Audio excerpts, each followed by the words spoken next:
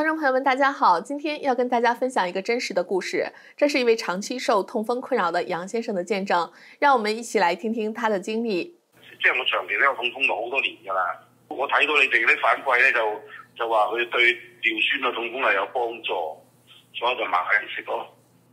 我食咗三菇多食宝之后咧，我其实其实有成两个月冇食痛风药噶啦，即系痛风药停咗噶啦。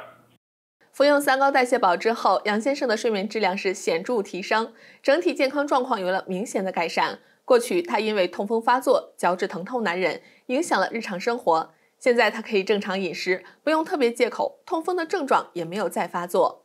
咁而家我第三樽都差唔多食完咗，睡眠质素系明显改善咗嘅。咁啊，第日第日个精神咪好啲咯。多谢你哋研发啲咁好嘅产品。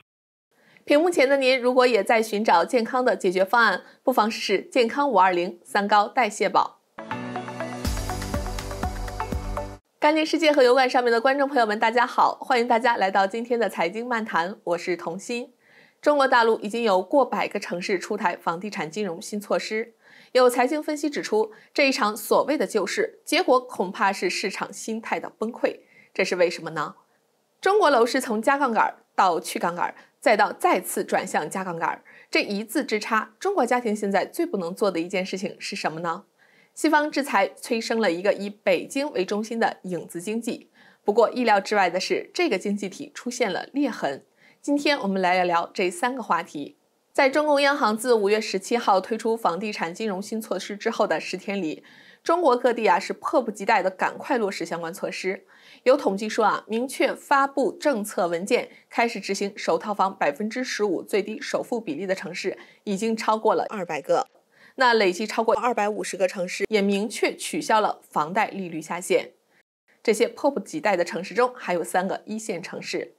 一线城市真的是急了，这背后呢也反映出中共救市思路是一变再变，从鼓励刚需进场到改善置换，到目前啊已经到了谁有钱谁来买的阶段了。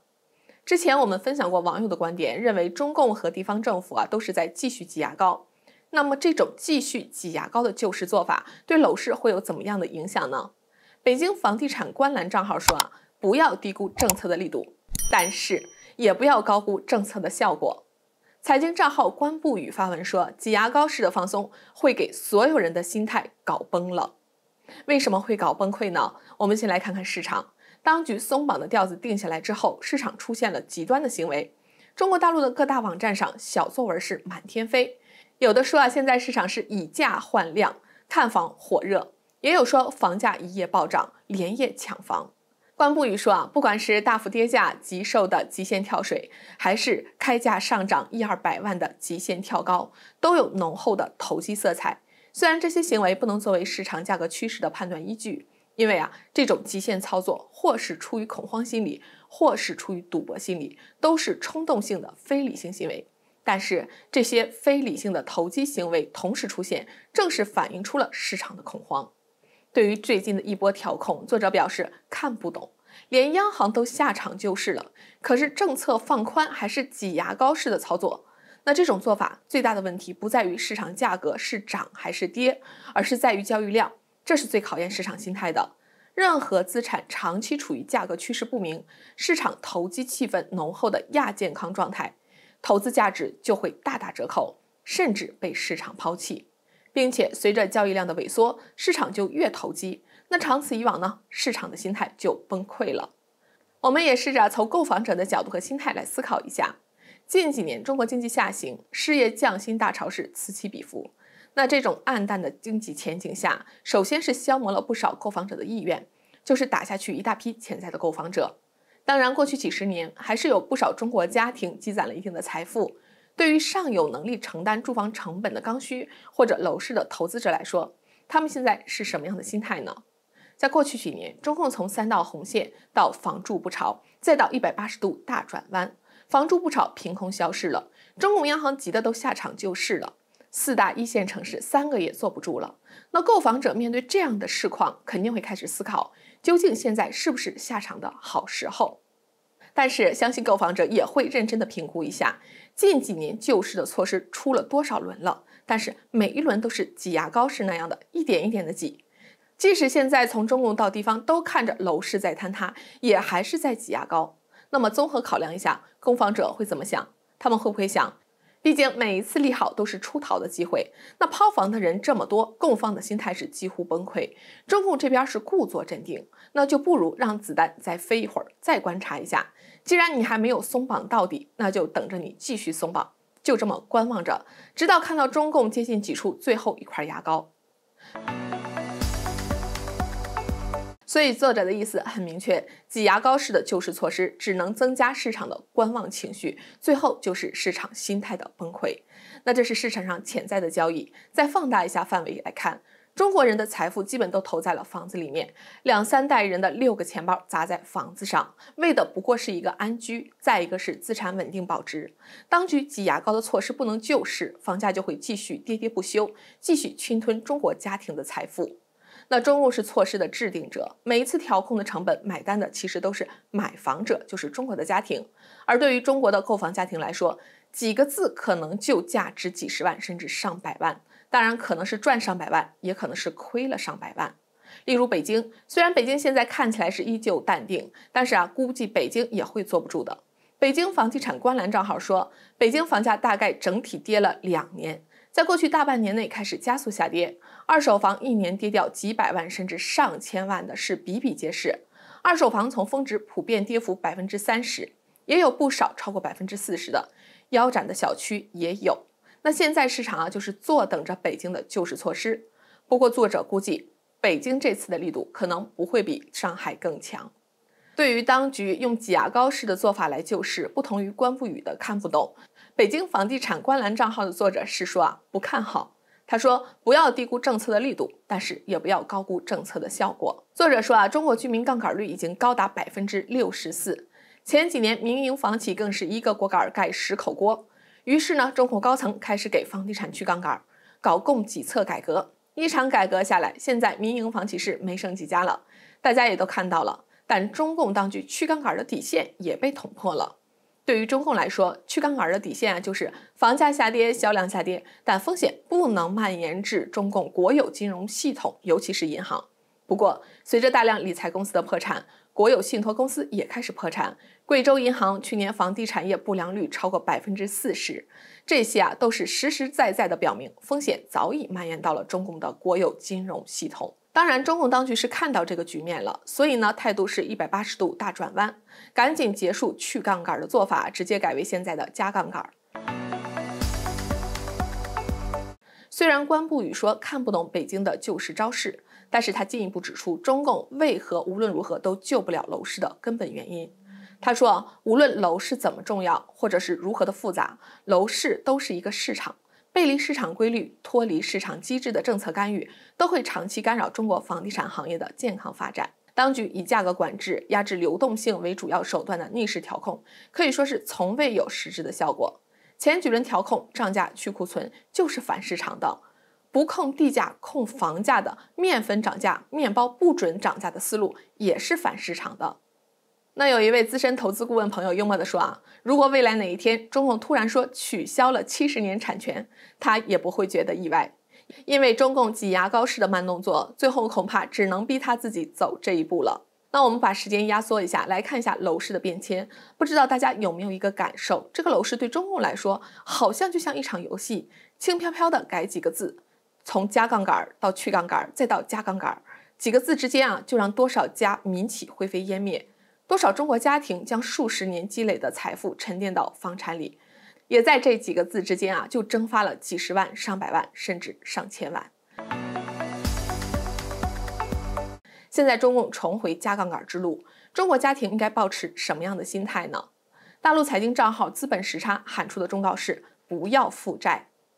作者发文说啊，中国大陆现在走投无路的人是越来越多，不少人选择了最极端的方式，比如某省会城市连着十几天，每天都有人跳河，逼得当地啊紧急加高护栏、加装防坠网，并派出大量守桥员，三步一岗、五步一哨，凌晨两点还在值班，防止有人在跨栏跳河。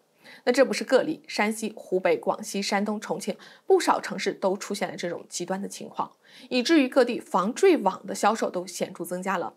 那是谁逼死了他们呢？他说啊，很多人讲是宏观经济，讲大环境，比如经济下行压力大，失业率高，晋升空间小，工资低，工作时间长等等。作者说啊，个体很难改变宏观，只讲宏观问题没有意义。具体到个体，把人逼上绝路的基本原因就是债务。他说啊，之前的加杠杆周期和这一轮不同。之前在收入和房价的狂涨之下，债务显得微不足道。但是现在经济发展放缓，一切都颠倒过来了。本来收入覆盖债务是绰绰有余的，房价也高于债务。但是后来收入下降，刚刚能覆盖债务。但是随着房价下跌，跌到了跟债务一个水平，那过去几十年就相当于是白干了。再往后收入继续下跌，就根本覆盖不了债务。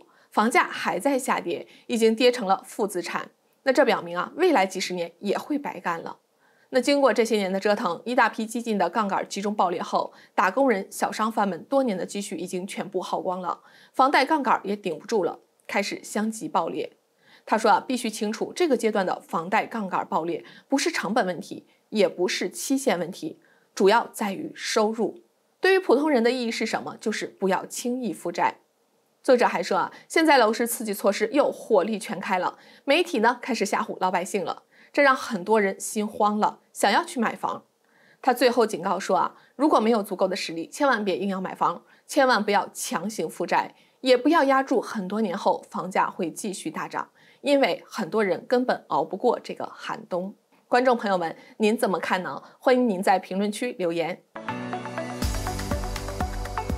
今天节目的最后，我们来聊聊地缘政治的话题。《华尔街日报》三十号的报道说，以美国为首的西方国家对俄罗斯、伊朗、委内瑞拉、北韩等专制国家的制裁和出口措施，本意是在不需要动用军事力量下制服这些专制政权。但是，根据西方官员说法和海关的数据，北京正借机提高与这些国家的贸易往来，形成了一个以北京为中心的全球性影子经济，这破坏了西方的制裁。报道指出啊，这些遭制裁国家目前整体经济规模已经足以抵挡华府对其金融战的冲击。这个经济体啊，进行从无人机、飞弹到黄金、石油等一切货品的贸易。这个影子经济体里面，国家贸易的需求啊，也是一致的。